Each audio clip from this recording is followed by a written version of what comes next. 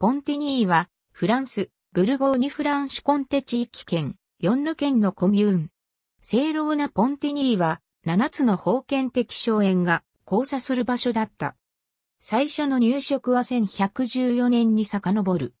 修道院を作るため、ベヌーズ教区に含まれる、セラン川の基地を人が住めるようにしたのは、死闘会修道士たちだった。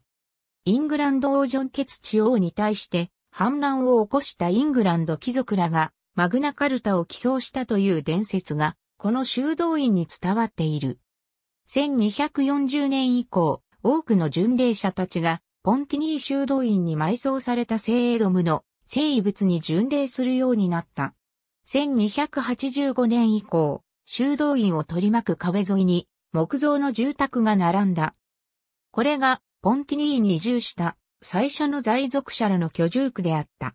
諸侯たちや皇位聖職者たちの間で紛争が起きると、戦うか破門するかでなく、交渉のため他方に赴くことが認められなかった。ポンティニーの橋のアーチ中央部を、それぞれが自分たちの家とみなしたので、協定を結ぶ際や、署名の旅ごとに集まった。こうした重要な機会には、セラン川の中心部にテーブルが設置され、三人の伯爵たち、司教たち、そして修道院長が自分たちの地域の仕事を生産の場に持ち込み解決していた。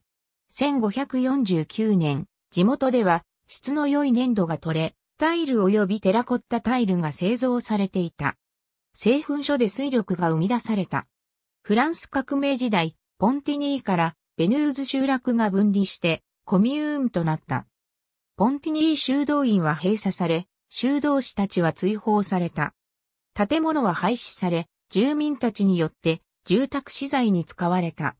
教会は破壊を逃れて教区教会にされた。1848年から1903年まで、ジャンバティスト・ミュアール神父が設立したサンテドム会の修道士たちが修道院の意向とその土地を所有していた。参照元、1962年から1999年まで人口の2倍カウントなし。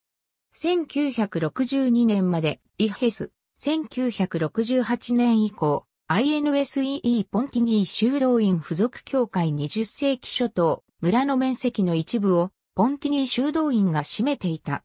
ここで知識人の重要な会合であるポンティニー純実婚和会が行われた。ポンティニー純実婚和会とはその名の通り、毎年夏の10日間、異なる背景を持つ知識人らが、政教分離法成立後にデジャルダンが購入したポンティニー修道院に集って議論を交わした会合である。ガストン・バシュラール、シャルル・デュボ、アンドレ・ジード、アレクサンドル・コイレ、アンドレ・マルロー、ガブリエル・マルセル、ロジェ・マルタン・デューガール、ロバート・オッペンハイマー、レーモン・アロン、ジャンポール・サルトル、ポール・バレリー、H.G. ウェルズ、ウラジミール・ジャンケレビッチらがポンティニーを訪れた。